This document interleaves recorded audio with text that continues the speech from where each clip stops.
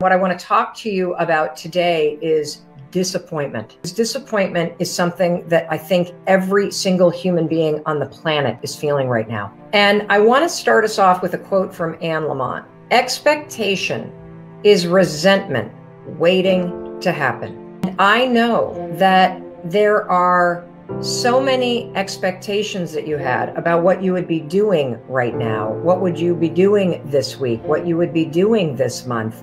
That's not happening because of this global pandemic. You know, we are going through a moment that none of us have ever experienced before. So nobody knows what the hell they're doing, right? We're just doing the best that we can. You got to give yourself permission to feel it because if you don't own what you're feeling, and if you don't give yourself the space to move through it, it's going to eat you alive and it's going to cause you to act out. Number one thing that helps you with disappointment, once you name it, once you feel it, is reminding yourself that better days are coming. Pick a day out in the future. And for me, it's the end of August. I want you to think about something that you would love to do once the pandemic is over and all of this chaos has left us behind, where do you want to go?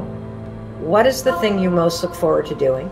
So, the thing I am most looking forward to doing is I am most looking forward to going back home where I grew up to Western Michigan and walking across those sand dunes and walking across the sand and going out into Lake Michigan and taking a swim.